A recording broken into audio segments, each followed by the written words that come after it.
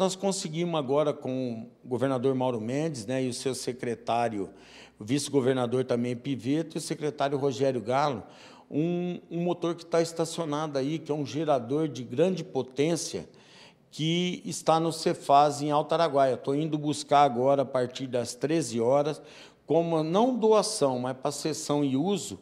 Por quê? Esses dias atrás nós ficamos com a queda de energia de 8 horas, um calor insuportável na cidade. O que, que acontece? Eu vou falar para a pessoa parar de usar água com criança, fazendo comida, lavando roupa. Muitas pessoas, região nossa, todo mundo trabalha nas fazendas, chega em casa para chegar ao fim de semana e trabalhar. Então o gasto se tornou maior. Aí veio, veio diminuindo né, a quantidade de água. Por quê? Porque acabou a energia. E nós temos hoje um gerador que, se Deus quiser, nós já vamos instalar agora em breve, né, que veio de custo zero para a prefeitura, corremos atrás, já vinha correndo atrás há muito tempo, porque eu fiquei sabendo desse gerador lá. E o Rogério Galo, secretário, juntamente com o governador, vice-governador, pode entregar para Alto Garças. Então, nós vamos buscar contratar, ver um eletricista para mexer toda essa parte, que ele está algum tempo lá parado, para a gente pôr para funcionar. Acabando a energia, nós já temos um gerador para dar continuidade no enchimento dessas caixas. Essas obras são de melhoramento aqui para o nosso município. Sim, Alto Garças, a gente sabe, é só você andar. É muita construção em vários lugares, muitas pessoas chegando de fora. Então, obras de asfalto, é, praças, PSFs concluindo, PA, que é o sonho nosso de montar um centro cirúrgico mais rápido, voltar a trazer. Nasceu uma criança, ou ter a pequena cirurgia. Então, está tudo encaminhado.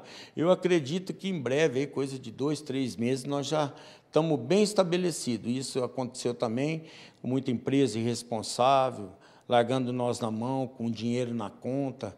Né? Então, é erro de não vou falar só de empresa, que é nosso também, de administrativo, mas graças a Deus as estão tomando, retomando isso aí, isso daí está acontecendo no estado inteiro, problemas, às vezes com empresa que não entrega a obra na hora certa, ou que é aditivo, e a gente, é dinheiro público, a gente tem que gastar ele o mais corretamente possível, não gastar muito e ter umas obras de qualidade.